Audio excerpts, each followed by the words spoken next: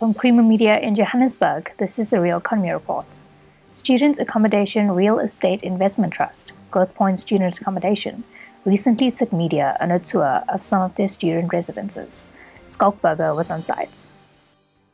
Growthpoint showcased some of its modern and safe student residence developments, which are all located close to tertiary education institutions. The locations and amenities of the residences are aimed at supporting students to have a fulfilling and productive tertiary education, with all the buildings having backup power and water, as well as kitchen, laundry, and recreation facilities.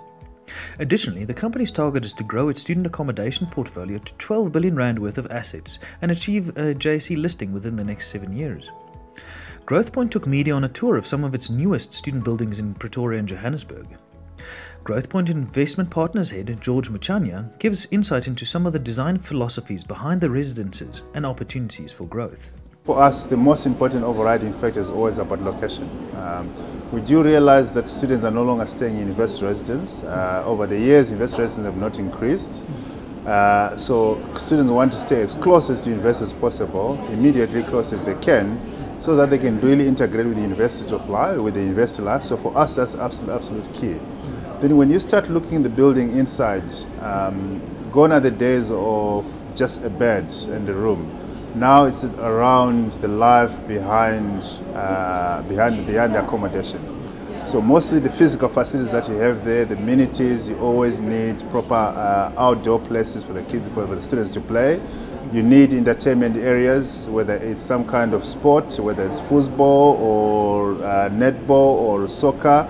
And then um, in addition to that, you also need to have the wellness around the students. So each of the properties have someone who looks at the wellness of the students, uh, student life, that looks at activating the places, whether it's sports activities, uh, lifestyle opportunities, for example, wine testing, preparing for exams, all those things become an integral part of the offering of, uh, of student life.